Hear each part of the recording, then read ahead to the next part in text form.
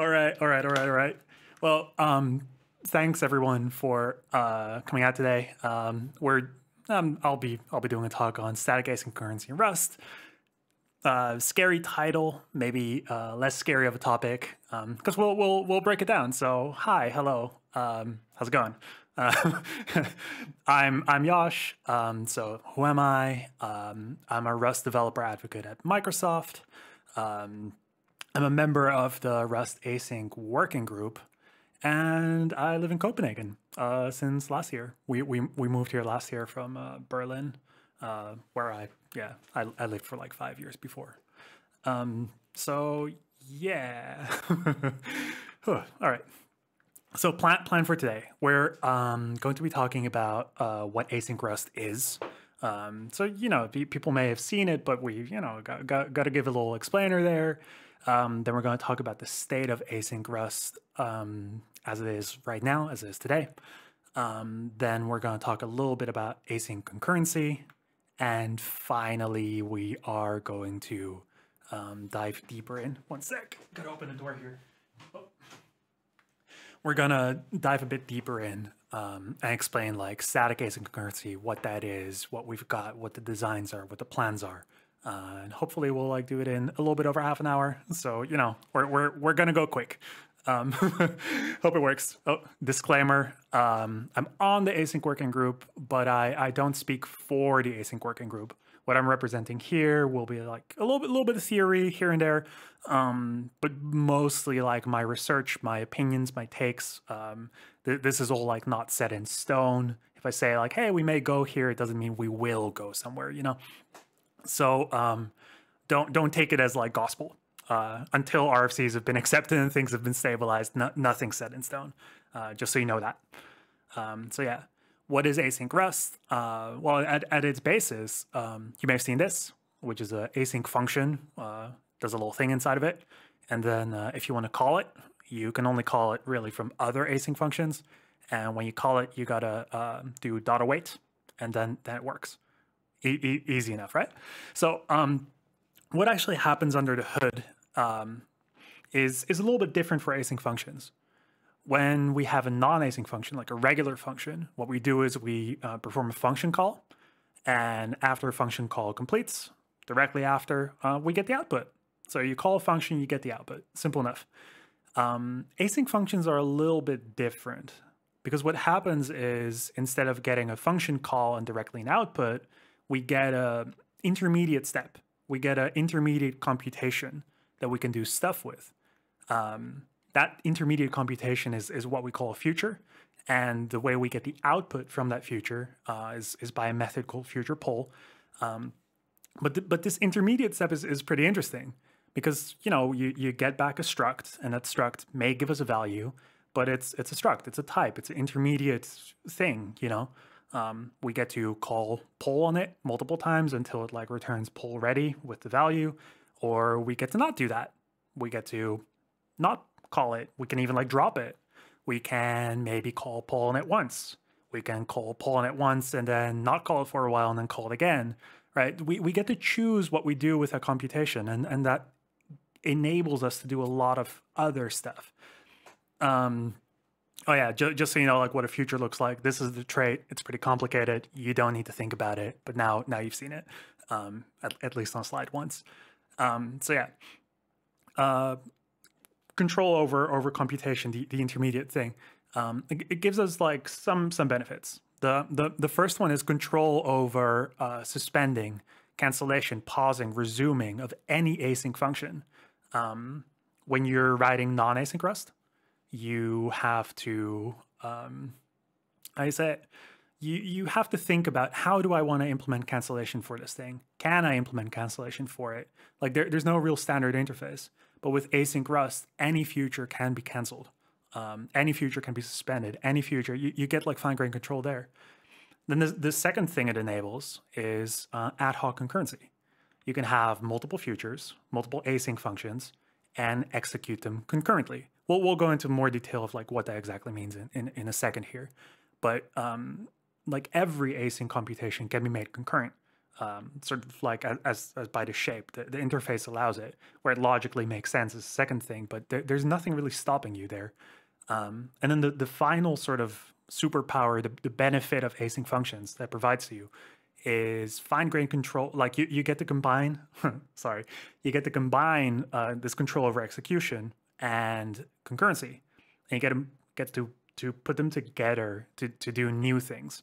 Um, for example, a timeout. You can think of uh, timeout is is two futures, one future t and one timer future, and then you you run them concurrently.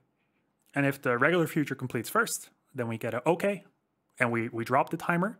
But if the timer completes first, then we drop the other future and we say, uh, that's an error. That's a timer error or something, right? So it's, it's concurrent execution of two futures, and uh, that gives us timeouts. And, and cancellation is, is tied into that too. Um, right. So, you know, I um, I recently published a post about about this exact topic, like why async Rust. I, sh I showed this little table at the end of it, which is um, at the bases, async Rust gives us control over execution, which in turn gives us cancellation. Just double checking. sounds okay. No, nobody saying anything. Oh no, that's just my myself. Okay.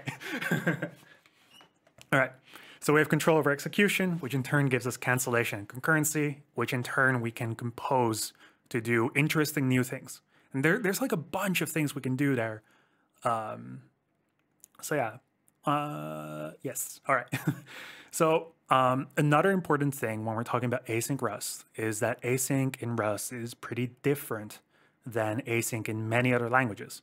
Um, like what we have is is futures uh, and not tasks. For example, JavaScript um, has an underlying runtime, the, the event loop. And when you say promise uh, new or new, new promise, sorry, um, it schedules um, a thing on the event loop and it immediately starts executing and you get back a handle that you can observe the result from. Uh, with a future, everything's lazy. Just, just like Rust iterators are lazy, uh, Rust uh, futures are are lazy as well. Like they, they won't do anything. They're not scheduled anywhere. They're just a fancy way of defining state machines. Um, which means that th this sort of like primitive, it, it, it allows us to do uh, many many things that may be harder to do in like other languages. Um, the concurrency primitives, they're not implemented in some sort of runtime. They're just library code that that cleverly combine the, the properties of futures that create new sorts of state machines. Um, and yeah, yeah, we, we don't need a runtime to, to achieve concurrency, which is very nice as well. So um, what what's stable today? Uh, we have uh, the future trait and ways to construct future, like pin and poll are needed. Um, we have async functions, async uh, uh scopes. Uh, what do we call them? Block scopes? Yeah, whatever. Um, and we have await.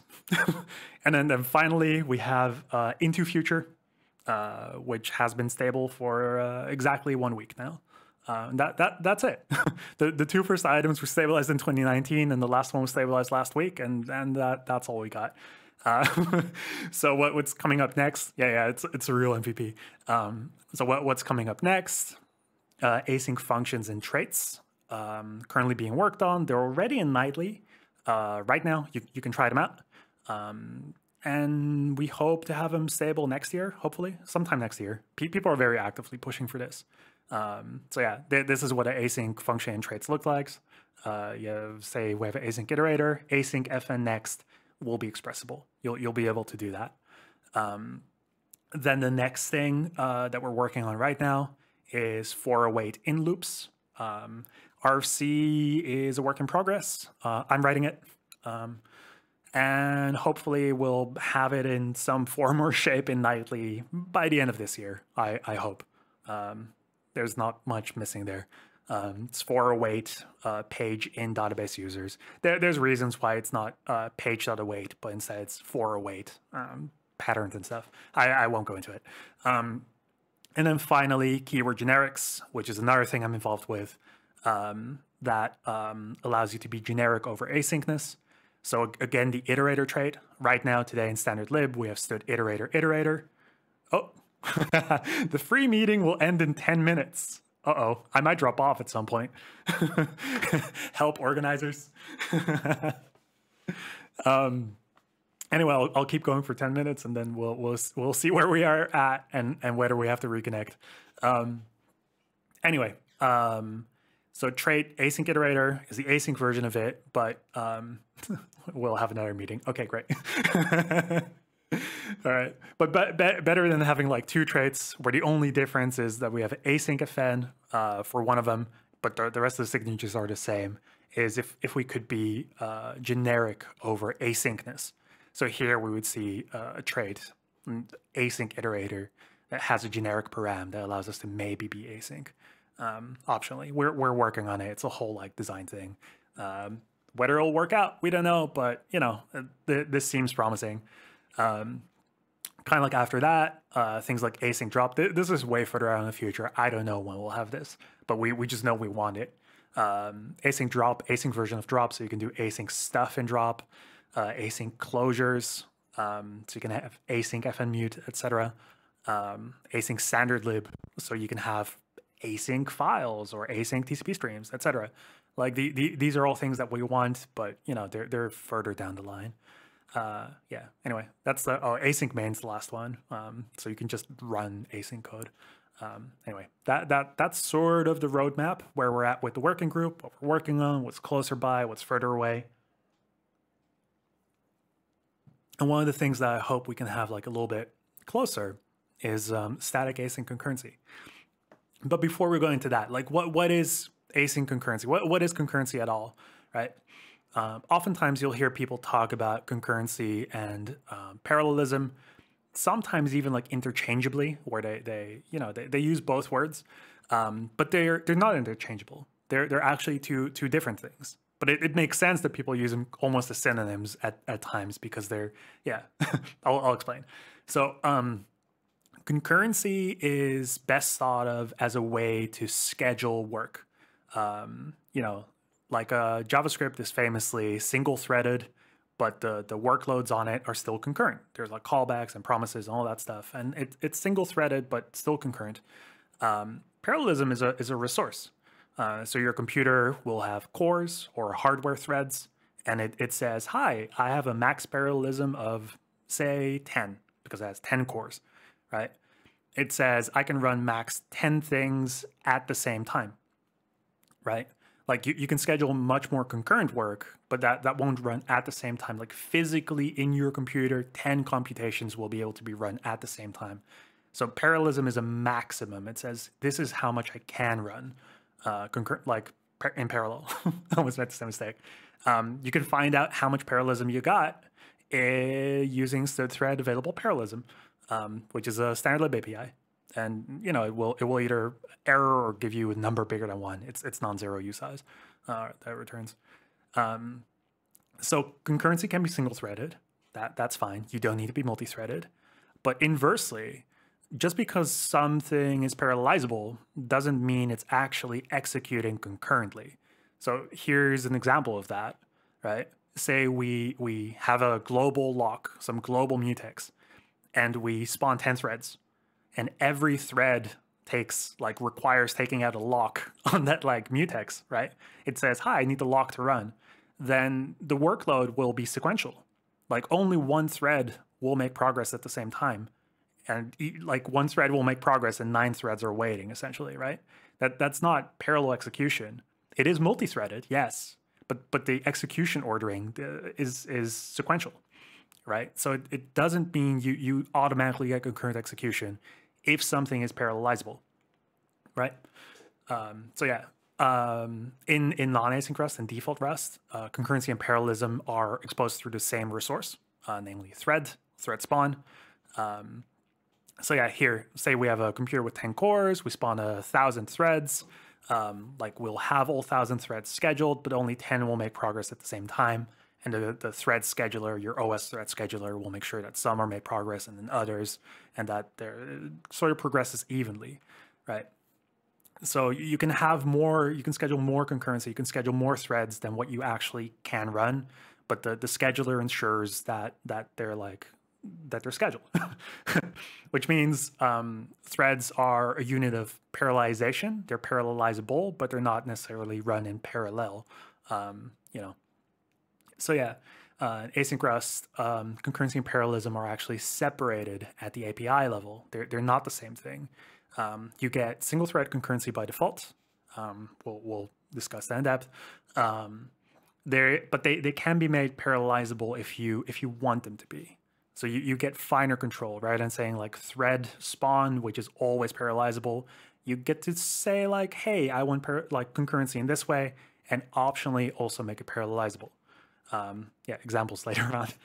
Um, so what, what's the state of async concurrency in Rust right now? Um, it's entirely defined by libraries. Nothing's stabilized. Nothing's decided in terms of APIs. Um, but we're working on it. I'm, I'm working on it. Um, check out the futures concurrency library on Crates.io if you just want to skip to, okay, what, what exists here? What, what are, what is going to be proposed most likely? Um, so yeah. All right final little pit, bits of what, what is async concurrency. Um, comes in roughly two flavors. Um, right, the, the topic we'll be talking about right now, which is static, like we know the number of futures um, that we got. So for example, here uh, we say, hey, we have a vector of futures, which contains two futures, or we have an array of two futures, or a tuple of two futures, right? That like we, we know it's it's two, like it, it's not more. It's not. It doesn't change over time. It's it's fixed.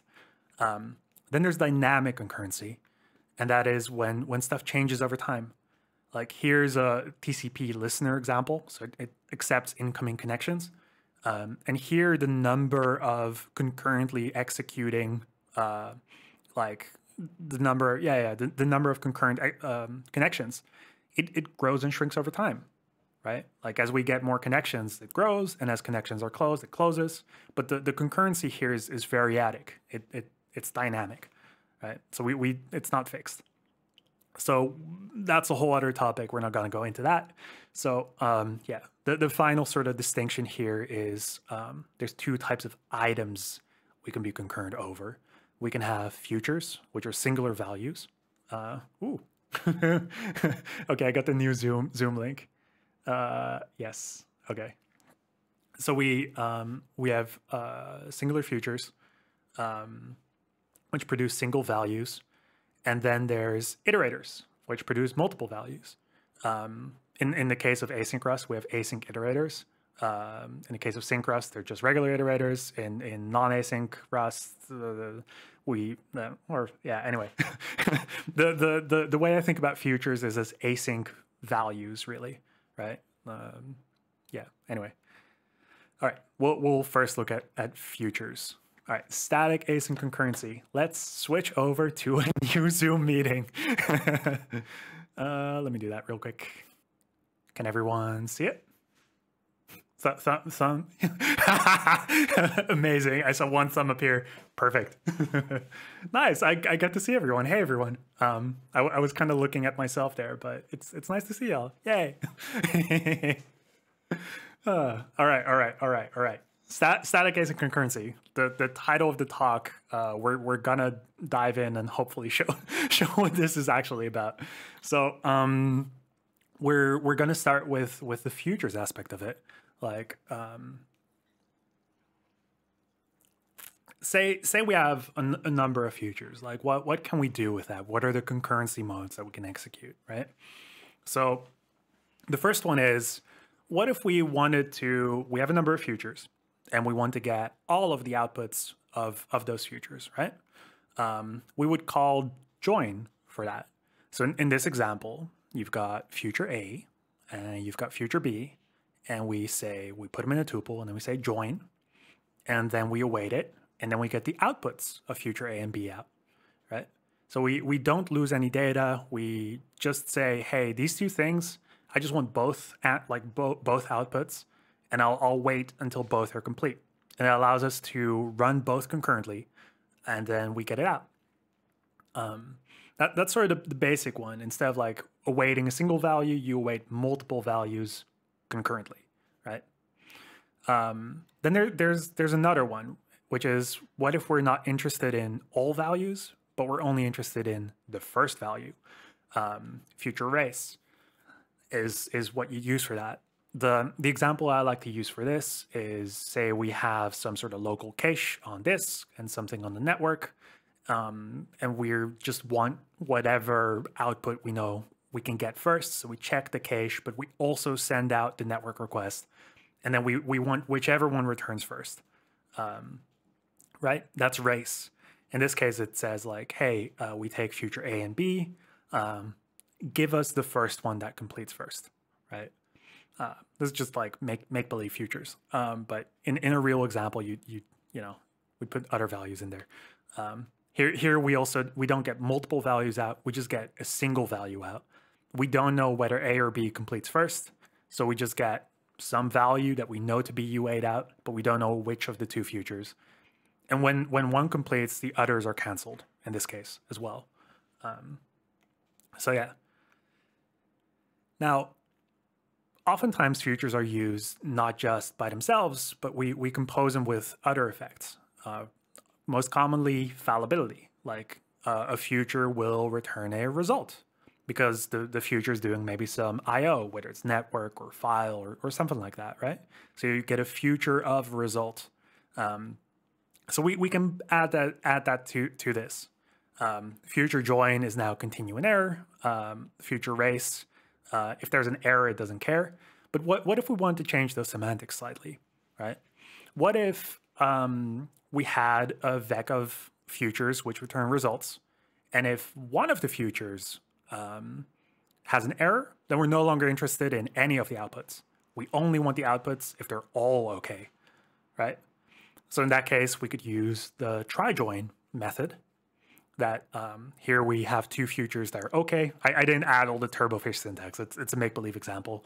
Um, th this will not run, but but just, you know, try, trying to illustrate a point. Here we have two futures that return okay, and then we try join it, and we await question mark it. Um, we get back out both outputs, which is nice. But if one of them is an error, then um, we actually won't get the outputs. We'll just get the error that's observed uh, and all the other futures are then canceled. Right, that, that's the try aspect. Um, this is pretty useful when you're, you're trying to bubble up, propagate um, results and propagate errors in, in the case something goes wrong, because you don't want to continue, so you're no longer interested in all the other computations. You just want to bubble up the error as soon as it's it, you detect one, right? Um, so that that's try join. There, there's also try race, which is maybe a bit of a weird name. Maybe it should be called first okay or something like that, but uh, still figuring out the name for it. But it's it's the inverse of race. So um, again, with the example of uh, say we have some cache and some network. Imagine we're like calling the network and the internet's out, right? And it says, "Hey, uh, network's out. Here's an error," right? Well, we don't care. We don't we don't actually care that the network's out what we're interested in is the first output, the first okay output, right? If the network is out, then well, we we just want to we'll just wait for the cache then, right? And if the cache then does yield a result, then we're happy. That was good. So try race in, inverts that relationship, and it says, well, if we're interested in the first uh, okay result, and it will if it detects an error first, like a future completes with an error, it says, ah, I don't care, I'll keep going until um, I've exhausted all of my inputs. Um, so in this case, um, you know, you, you like both are okay and we get some answer. But here, um, future B actually returns an error and the question mark here won't trigger. Uh, instead, we'll always get um, the answer of one because that is the okay value. So, you know, even if error returns first, uh, completes first, then we'll always get the other one. So that's that's try race. Um, now for, for ergonomics, it, it, becomes a little bit interesting because, um, as I mentioned, Rust 164, which came out last week, added into future. And it, it will allow us to, we, we haven't decided whether we want to actually do it or not, but we're thinking about it, potentially. Um, it will allow us to improve the ergonomics of, of join a little bit. So I explained join in terms of like, what if instead of awaiting a single value, you can await multiple values and get back all of their results? Um, what if you could not have to call join in between? So here you just have a tuple of A and B, and you call await on it, and it will know to resolve both futures to both outputs. Um, the way this is implement or can be implemented under the hood is by implementing into future um, for the tuple. And what await now does Um, it's it's new. The desugaring's new. This all stabilized like last week, but await calls into future before awaiting the actual future. Just like a iterator, like for x in y, calls into iterator um, on on the thing you're iterating over before doing the actual iteration. So you can do for fields in hash map or in my hash map, and you'll you'll just get the fields immediately. It does the conversion for you. Await now does that as well, which means the tuple itself doesn't need to implement future. It just needs to know how to give you something that implements future. Um, and that, that means we'll we'll be able to do something like this, most likely, potentially, maybe, hopefully. I I I I'd like it. But yeah. Um, anyway, that that's it for like um, scalars. Now now for the the semantics of uh, sequences. Uh, merge semantics is, is a big one. Like say we have uh, a number of async iterators and we're interested in all of their outputs as soon as they're available, then we can do something like this. So here we have uh, four streams. Stream is an old word for what we now call async iterator. Um, we updated the RFC, but the ecosystem hasn't updated yet. So you, will kind of see both terms in use right now, but the, the actual end term will be async iterator. Um, so here you, you have a number of like uh, streams, right? Async iterators. Um, we can all put them together and we say merge these iterators. And as soon as values become available from them, um, yield them, make them available in the iterator. So here we'd be able to get all of the output, never drop any of the output. And, you know, as soon as it's available to us, we, we get it. Um, that that's what merge does. It's it's sort of the the the join equivalent of like async iteration. Um, there's things like zip and concat, I believe. I, I don't know, but th- those do one after the other. So it says first exhaust uh, stream A, then exhaust stream B, then exhaust stream C. What this does instead, it says all at the same time, and as soon as a value is available, yield that value, um, which is a bit different and and unique to async Rust as well because it, it's concurrency. So um, you may be wondering if you've done any async Rust at all, you may have like seen select. It's it's mentioned in the async book from the working group. It, Tokio uh, uses this in their docs as well. Um, and and select is is a macro that allows you to build async concurrency. Um, so yeah, people may be wondering about this. Let let's talk about this briefly. Um, so, uh, oh, wait, hold on. I messed up the, the ordering of my slides. All right, all right, all right, all right. So say, say we wanted to, to merge um, to, to some, some sequences of like numbers. Um, the way we could write it would be like this. So we have uh, streams A and B, which, which are iterators over numbers. Then we uh, merge both and we loop over them and we say, hey, uh, each number that we see, please add it to the total and then we assert for the total.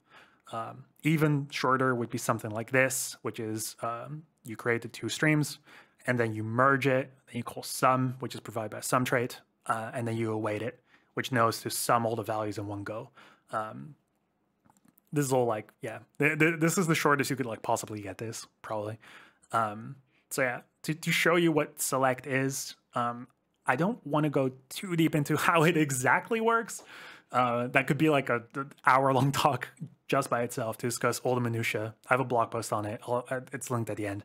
But um, j- just to give you a little bit of a difference, uh, first you must create streams which are fused, um, so they keep returning none. Don't worry about it.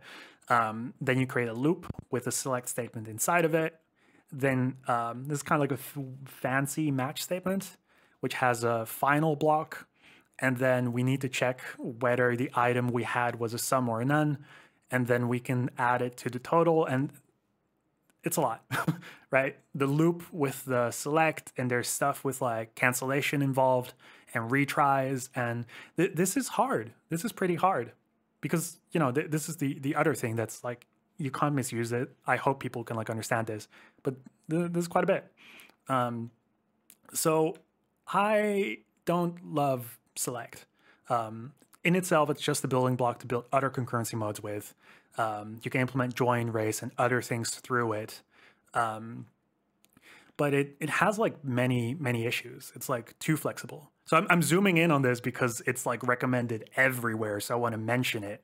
um, it's recommended as a, as a thing to do concurrency with, like in, in many places. So I just want to highlight it and be like, I don't, you know, please maybe don't use this. Um, actually, like even stronger than that, I don't think we'll be able to add this to standard lib in in any like good way. Um, like it's it's super flexible. If you make a mistake, the compiler will not help you. It's a big macro. Uh, it doesn't know what you're trying to do actually. Um, if you make a mistake, you can lose data. It can corrupt your data. Um, and and yeah, we we don't know how we would possibly add this to standard lib. Um, so instead of select, I recommend using merge.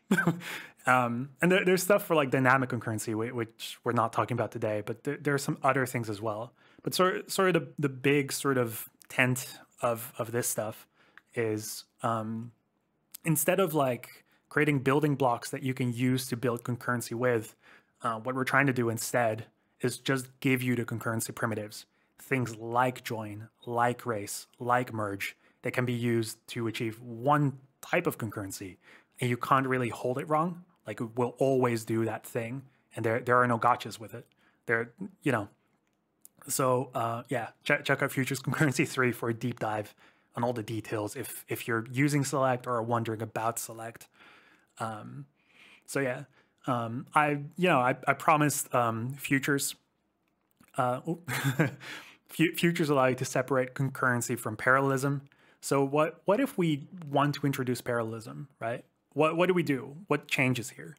Um, well, you should just be able to do this. So we we have a future and we say dot par, and now it's parallelizable. You do it two times, and now both are parallelizable. Um, yay! That that that's it. That's all you should need to do.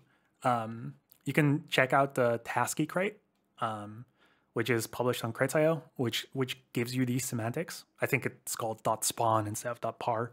Um, but it, it, yeah, it allows you to do exactly this. It reuses the existing concurrency operators uh, like, like join and race. Um, but it just says instead of having a single thread future, you have a parallelizable future that when called may move to a different thread or may be put on a different thread and work there. Um, it does require a runtime. We will probably not stabilize this until we have runtimes figured out in the standard lib, etc. Um, we don't know when that will happen, but th- this is more or less the direction that um, at least I would like us to go. That I think makes most sense. Um, there's stuff about structured concurrency as well that this in, in, interleaves with nicely, but yeah, I, I won't bore y'all with those details. Um, all right, so next steps uh, for async concurrency, static async concurrency, um, the library futures concurrency is still missing the trivariants. We have it in macro form, we have it in method form. We don't have it in trait form yet, so we, we need to do it as part of that library to show that that can be done and what that looks like, etc. Um, we have a low performance thing that we want to like improve. We know how to do it, we just haven't done it. Uh, right now, waking, in case you care about details, waking is exponential time.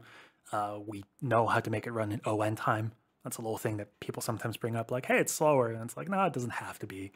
Um, then finally, uh, write an RFC to propose adding the base concurrency methods, the static ones, probably starting with join, maybe including race, uh, explaining how into future might help us with the ergonomics there, and kind of move from there.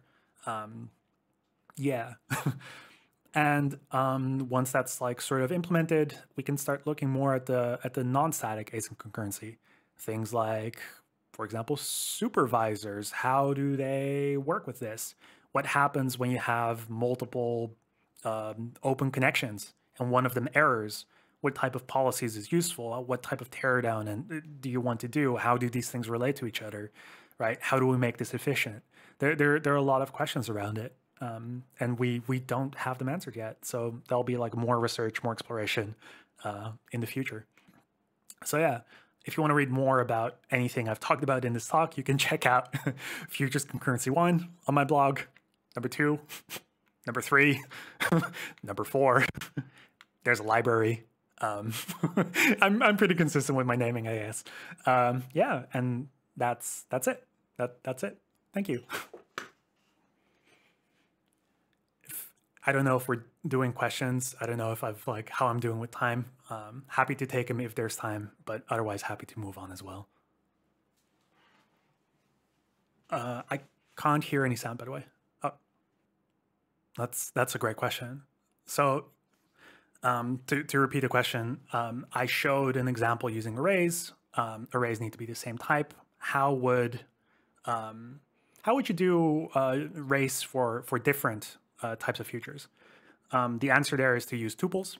Uh, in a tuple, the type of future doesn't need to be the same type. Um, like in in user space, you can uh, implement traits for tuple of two, tuple of three, tuple of four. We don't yet have variadic tuples uh, in the standard lib. Um, implementing this trait, maybe we, we would want variadic tuples. That may be a requirement for the the, the different valued ones. Um, as a workaround, though, like the the array version, we should be able to stabilize. There, there's nothing blocking stabilization inherently.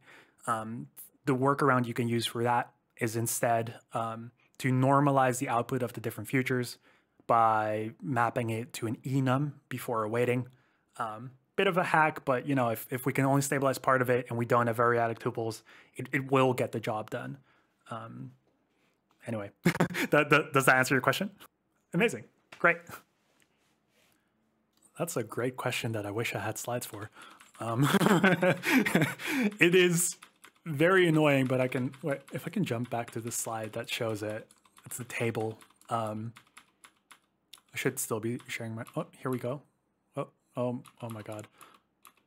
There, there, there it is. Yes. So um, that that's why I was saying um, try like good, good good you spotted it first of all, but yeah, that's why I was saying about like try race is a bit of a weird name because it, it's not actually a try operation like most others are. So may, maybe it's just a bad name. Um, but if you um, if you look at the the left column, right, um, like race will return early on error. If we're racing um, two futures, and one of them errors, just the race operation, not try race, and one of them errors, then we'll we won't be observing the the resultness of it. We'll just be looking at it and be like, oh, hey, the, the, this thing completed first. Cool. You still get the error out, right? So it gets back first.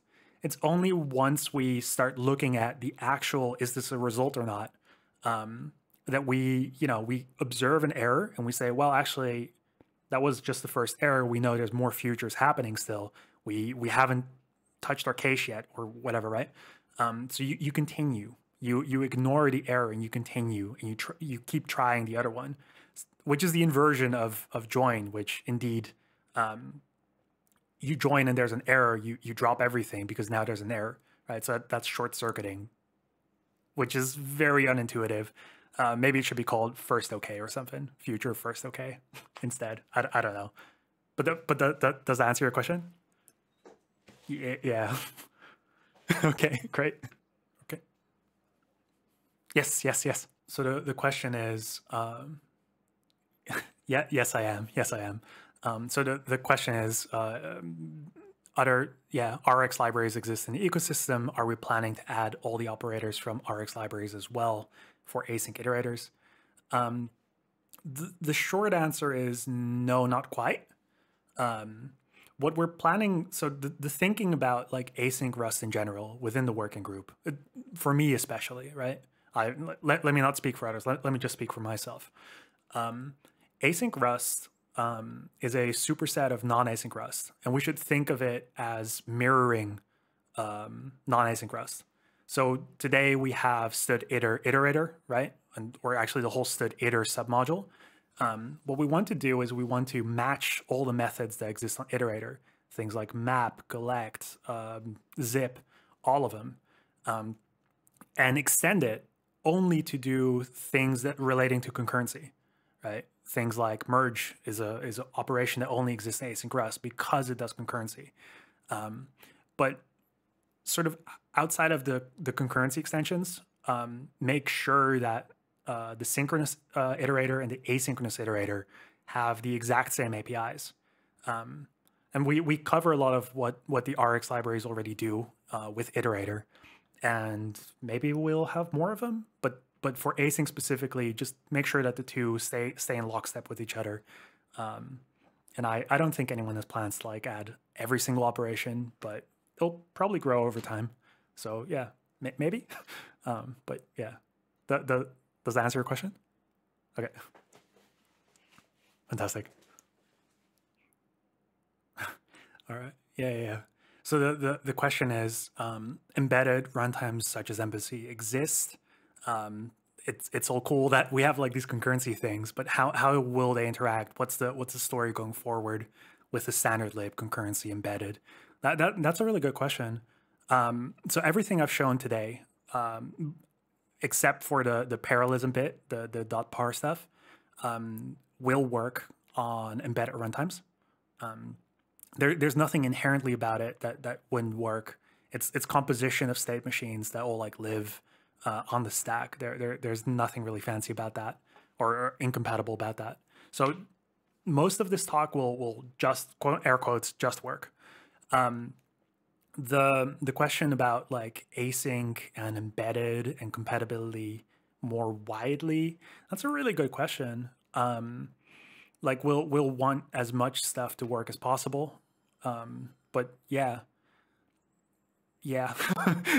There, there are like real challenges in like defining a generalized interface for say spawning a task that will work on embedded platforms. Not all embedded platforms are the same. Um, some can allocate some can't allocate. Like how far do we push it? Um, the the answer there is we are working with um, Dario the maintainer of Embassy. Um, and we have regular calls well, regular being once a year at this moment, but uh, we're, we're trying to like ensure that every proposal stays in the loop, ensures that we cover as much ground as possible. And that, that you know, embedded too, we, we want to provide a, a sort of consistent feeling user experience for all the platforms. Um, but yeah, it's challenging, but you know, we're, we're, we're kind of, we're pretty committed to, to making it work. Um, that, that, does that answer it? so the question is, what about async drop? Uh, yeah, that's a good one. That's a really good one. Um, there's a blog post by Sabrina Jewson titled Async Drop, which explains some of the difficulties of async drop. Um, privately, I think we, I may have a design that will work for async drop. Um, I'm having a chat with uh, other people on the working group in two weeks to sort of vet the design to talk through the problem space more. Um, it's it's kind of like the one least solved aspect of the of the core building blocks, but I'm I'm hopeful that's solvable. I I think it is. Um, I think I think I may even have a design, um, but you know I, I don't want to call victory too soon. Um, so yeah, we're we're working on it. Is is the longer answer? It'll it'll take a moment to to completely figure out, but yeah, we're yeah. does does that make sense? Hopefully, I hope I'm like not announcing something too public. Um, all right. Thanks, everyone.